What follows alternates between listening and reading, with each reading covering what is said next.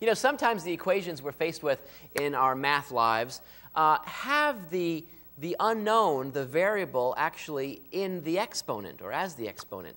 And so these are sort of exponential equations, which it turns out there are ways of solving. The trick is to try to get that, that exponent unknown down to sort of the ground level with all the other uh, base terms. So let's talk about a general method for solving certain exponential uh, equations. So the first step is to express each side uh, with the same base. And so, for example, if I have b to the x equals the same b to the y, then that automatically tells me that the x and the y have to be equal.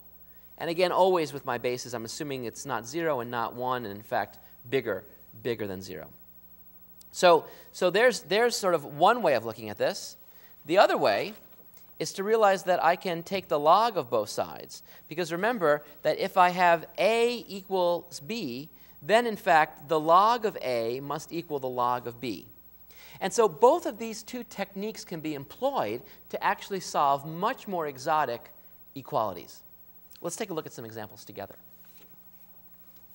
So the first one is really exotic. 27 to the x power equals 3 to the x plus 8 power. Why is it so exotic? Well, because notice that the thing we don't know is actually the exponent. Usually, we have things like x to the 2 power, right? Where it's the x we don't know, but the 2 exponent we know. So we have a quadratic. This is not. This is an exponential thing where the unknown is the power. So how the unknown is the exponent. So how do we deal with this? Well, what we try to do is to write everything we see in terms of one fixed base. Well, I see this 3 here, so let me see if I can write 27 as 3 something. Well, we can if we think about it. Because in fact, 27 is 3 raised to the third power. So 27 is actually 3 cubed. So I can replace this with the following equivalent statement 3 cubed raised to the x equals 3 to the x plus 8.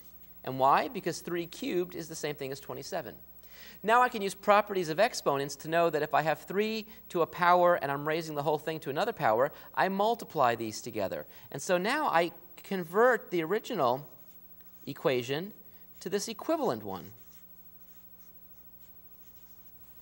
But the great thing about this is, you see, now I've got the same base. If I have the same base on each side, then the only way these can be equal is if the exponents themselves are equal. That means that I immediately see that this automatically tells me that the exponent on the left has to equal the exponent on the right. And look what I've just done. Look, no more exponents. Now I can just solve this for x. Subtract x from both sides, and I get 2x equals 8. Divide both sides by 2, and I see x equals 4. And there's the solution. And you can go back and check if you wanted to, let x equal 4 and plug back into here and see that 27 to the 4th is the same thing as 3 to the, to the 12th. And I'll let you think about that and verify that. But the important thing is that we converted everything to the same base and then set the exponents equal to each other. Let's try another example together. So here's a crazy little example. I've got 7 raised to the x minus 3 power exponent, and that's supposed to equal 350. So how am I going to possibly do this? Well, you know, maybe there's a way of writing 350 as 7 to a power, but off the top of my head, I don't know it.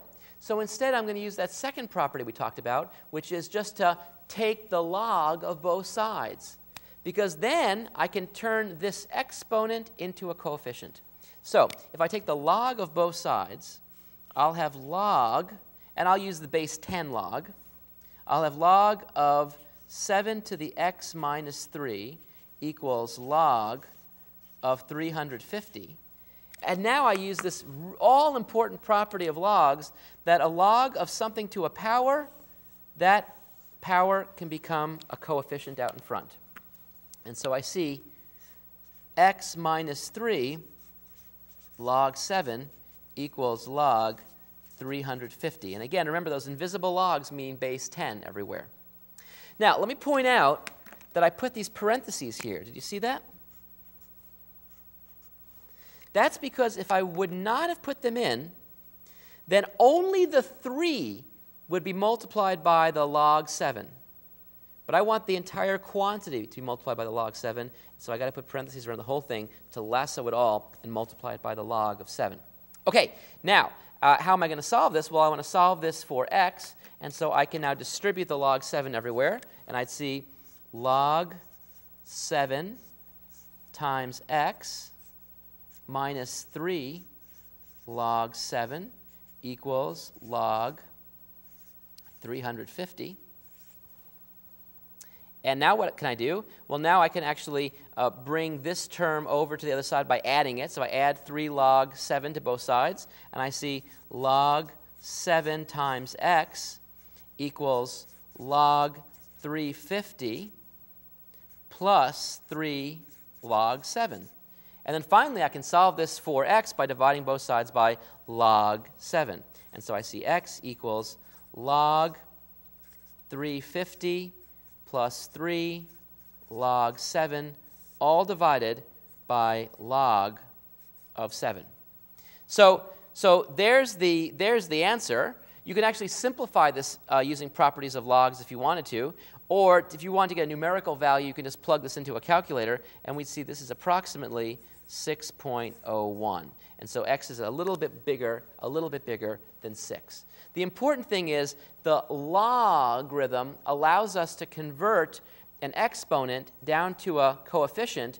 And why? Because the log is the inverse function of the exponential function. So it sort of undoes the complexity of the exponent and turns it into something that's on the same playing field with all the other numbers.